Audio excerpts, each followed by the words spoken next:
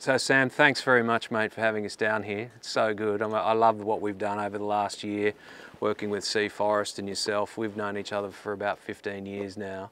such a great joy to see what you've done in terms of building out the business here. Tell us a bit more about the story and, and give us more information about what you're up to and, and, where we're going with Sea Forest. Yeah, thanks so much, and thanks for your support, Matt. It's been a it's been a tremendous journey, and I'm, I'm grateful to be sharing it with MJ Bale. Um, we're in the beautiful part of Tasmania. It's, it's, on the southeast coast of the country of the state, um, just inside Maria Island. But what, what's so special for Sea Forest is that the seaweed that we grow, the Asparagopsis, is wildly abundant and, and annually yeah. abundant. Everywhere else in Australia, Amazing. this seaweed is um, quite seasonal. So right. we only see it for a few months of the year, but here in Tasmania, in this particular location, we see it year round.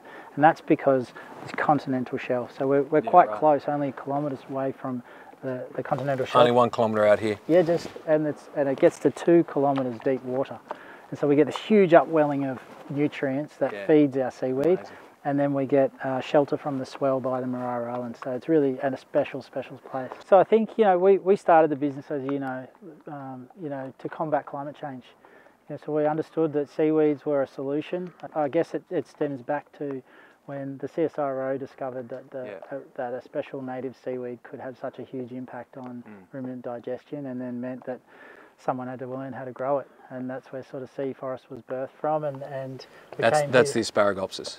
It's the Asparagopsis, that's yeah. right. Yeah, so a, a, native red seaweed, and you, you, feed just a very small amount, to, amount of it to ruminants, yeah. um, and it and it eliminates methane, which is just a tremendous thing because it's not well understood, but methane's contribution to greenhouse gas emissions globally is mm. about um, it's second only to the generation of electricity. So huge. It's, it's more than the it? entire transportation industry. It's enormous. Mm. We understood it to be around about 50% of the garment production in terms of the, the CO2 emissions when we did our sustainability audit, uh, audit of, of, the MJ Bale business. Mm. And uh, that took us by surprise a bit. So hence we worked, you know, about a year ago, you and John O'Lobbin hatched the idea of, of you know, working with Sea Forest and MJ Bale together with the Asparagopsis, feeding it to our pilot flock of sheep down here at Kingston, which we're, we're heading to tomorrow. And yeah, what was it, 2018, I think Jono and I were up at the Hat Head on an MJ Bale shoot actually. Yeah, and we're um, borrowing your old Land Rover, that beautiful right. old,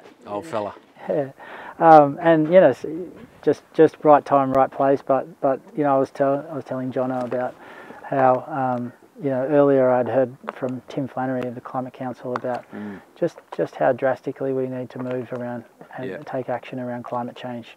You know, I just wasn't fully aware of just how quickly mm. um, the planet's changing with regards to the, the, concentration of CO2 in the atmosphere.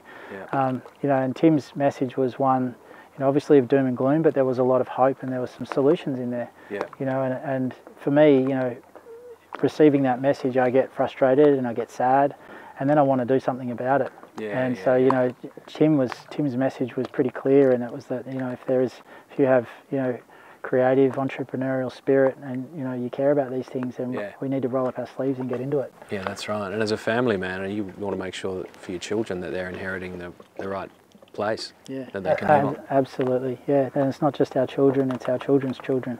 We're going to be fascinated to see how how it actually goes in terms of the apparently the sheep are loving it it's interesting. They, they, have put on a little bit of uh, a bit of bit of extra uh, weight yeah. and, and, a bit of extra girth, and uh, it's going to be really interesting to see when we shear them in June how the wool comes up, what the microns like, what the strength is like, and, and generally how it, it goes. But uh, I, Simon Cameron tells me that it's been uh, plenty of work, but he's, he's really loving the challenge and he's, he's fascinated by what it's going to do for, for his livestock. Absolutely, and you know he's a pioneer, as are you guys, in, in taking the, the plunge and, and being the first, you know, commercial.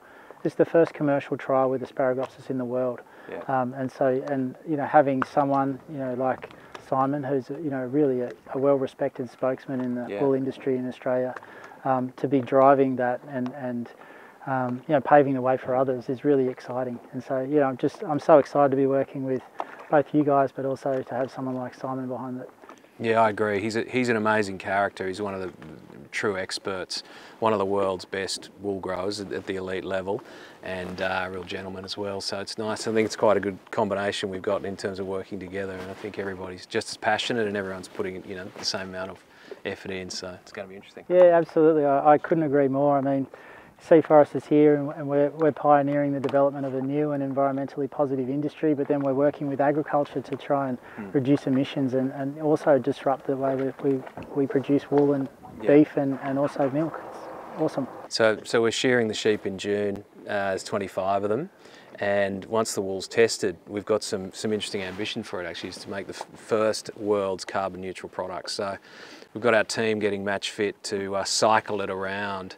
We've got to get it across. We might be sailing it across the Bass Strait, oh, out of Tasmania into, into Victoria, and then we've got a few wool processors there that we're going to be uh, cycling it around or using solar powered cars or, uh, or, or, Teslas to, uh, to transport some wool in, in between each of the makers to, to truly make the world's first carbon neutral you know, garment.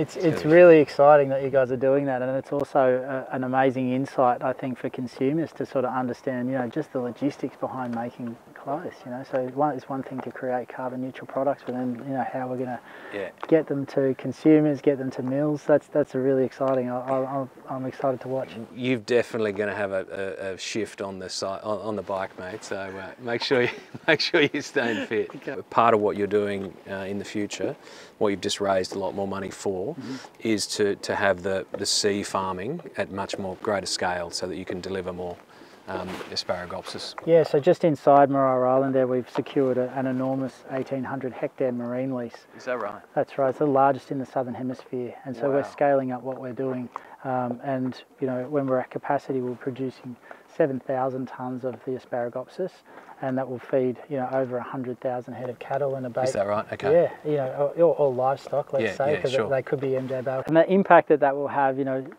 seaweeds yeah. photosynthesizes, you know, sure. they draw down enormous amounts of carbon, they grow very, very quickly. Yeah. But by feeding a small so amount. So you're actually getting a benefit at the front end through the carbon drawdown, and by in terms of the methane offset that you're getting in the livestock. So Huge. Double Ab whammy. Absolutely. And so the, the, offset on livestock is much larger than the offset we get from, from photosynthesis in, sure. the, in the, cultivation side of things. We get, uh, uh, we should produce uh, or avoid around 400,000 tonnes of CO2 equivalent per year Fantastic. from that marine farm. And to put that in context for me, because I don't really know, give, give me some context on, so on that's, what that's, is emitting 400,000 tonnes of CO2. So, so one cow would produce around four tonnes of CO2 equivalent right. per, per year. Okay. And so that's about the equivalent of one car driving around. So it's, it's almost like taking 100,000 cars off the road. Off the road in yep. a year? Yep. That's insane. Yeah, amazing.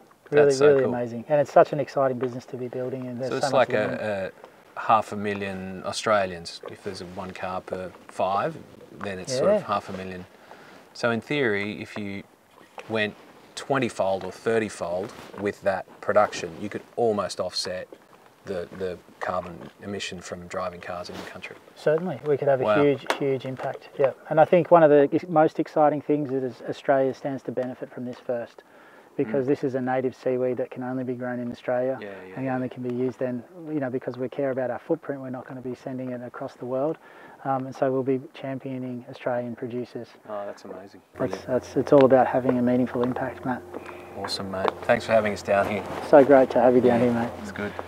Let's go and have a beer. Yeah, let's do it.